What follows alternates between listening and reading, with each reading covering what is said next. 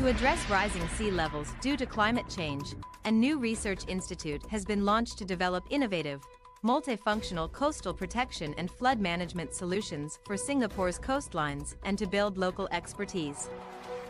The Straits Times looks at the goals of the new Coastal Protection and Flood Resilience Institute CFI Singapore and some of the projects that the center will embark on. To study the impact of climate change on coastal process such as wind waves, storm surge levels and astronomical tides, and on coastal protection structures. Enhance prediction systems for coastal processes, rainfall and water runoff. This includes mangroves, seagrasses and corals, with various man-made structures like sea walls to shore up coastal protection. Create multifunctional solutions for Singapore's coastal environment. For example, the Marina Barrage not only serves as a dam for flood control but is also a source of fresh water and a recreational space. Modular, watertight units can be added on top of existing coastal protection structures such as seawalls to better guard against sea level rise. Hub is working with Delta Marine Consultants to explore the use of modular blocks known as Block Plus along Singapore's coastlines. Seawalls are designed to protect land and infrastructure from erosion caused by waves and tides. A flexible sea wall with adjustable height can be installed to address uncertainties in sea level rise.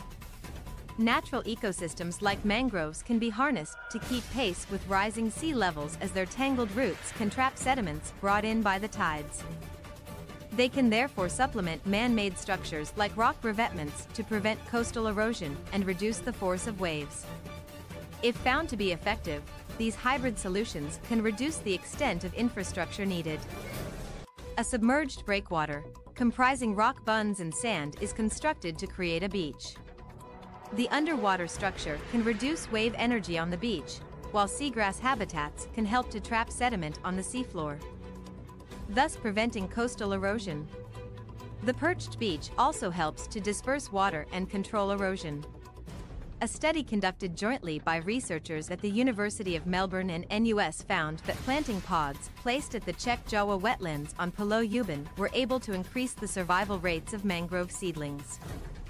These planters can protect mangrove seedlings from strong currents.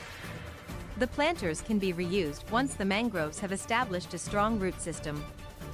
Singapore's coastlines have been divided into eight different segments for site-specific studies of coastal protection measures.